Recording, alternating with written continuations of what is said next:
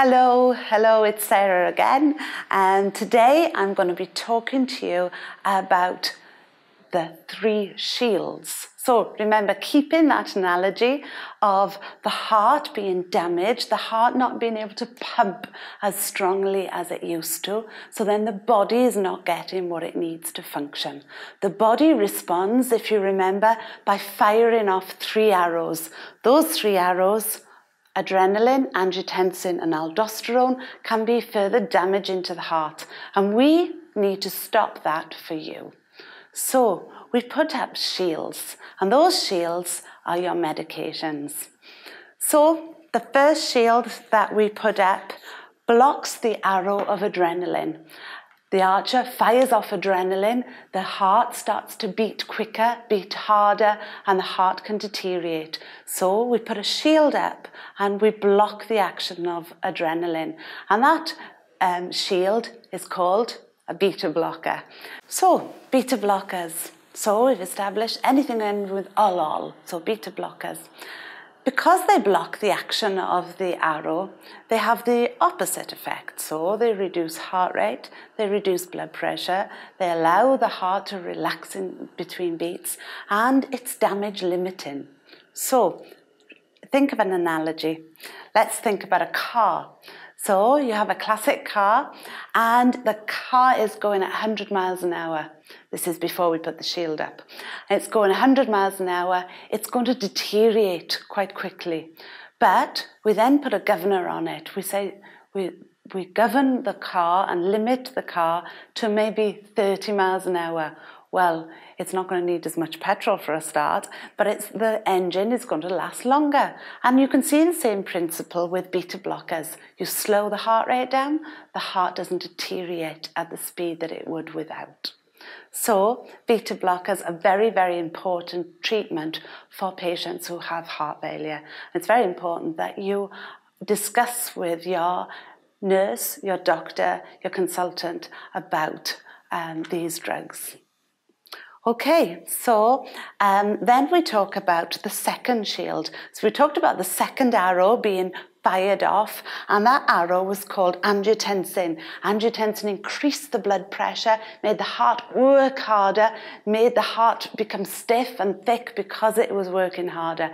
We need to block that arrow, and we block it by, by another shield, and that shield is called an ACE inhibitor. So, without going through all the scientific bit, it blocks the production of this hormone here called angiotensin 2. So, therefore, the blood pressure doesn't go up, the blood vessels don't tighten, the heart doesn't work harder, and so, therefore, you stop the heart from deteriorating at such a speed. So, ACE inhibitors, what do they end in? Well, they end with pril. So, ramipril, enalapril, these type of drugs are ACE inhibitors.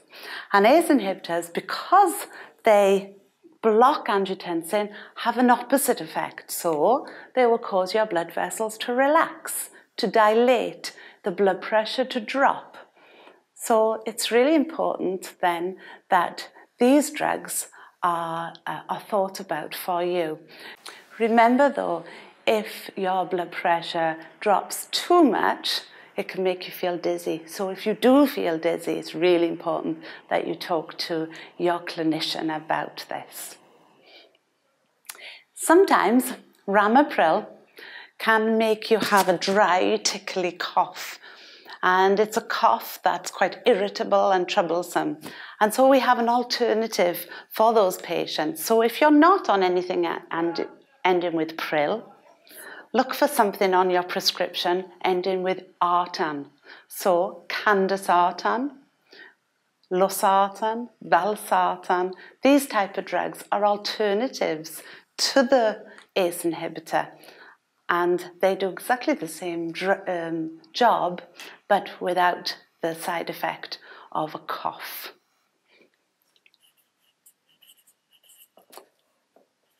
The third shield that we'll put up blocks the third arrow, the arrow called aldosterone. As you remember, aldosterone causes fluid retention and edema, but this drug will help prevent your body from retaining fluid. And this drug is called an MRA. But look on your prescription chart, look for spironolactone or eplerenone. And these type of drugs will block aldosterone. So these drugs are what we will be considering for you if you have been diagnosed with heart failure. It's really important that you are on the correct medication. But why I've not talked about doses today is that everybody is on different doses, different combinations, dependent on their individual need. So, um, we've talked about medications, we've talked about how we give medications for can't pump heart failure in order to improve symptoms and to slow down deterioration of the heart.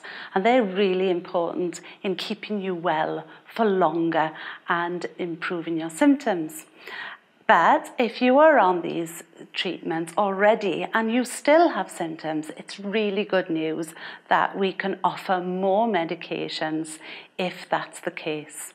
So these drugs, which you might be aware of, you might have read, are aimed to improving the protection of the heart. And the medication that I'm talking about is something called Entresto. So I'm going to not talk about this in this video, but hopefully in a future video I can tell you more about it. But just for you to know that if you still have symptoms, please go back to your clinician and talk about other options. Another option, again for a future video, is device therapy. And if you have can't pump heart failure, so your heart is, muscle is damaged and can't squeeze, then there is an a possibility that you may fit the criteria for a device. And these devices are called cardiac resynchronization therapy devices, a big mouthful, but basically aiming to improve symptoms, improve the function of a damaged heart. So again, um, talk about this to your with your clinician, and that there are other options um, that you may um, explore. Thank you.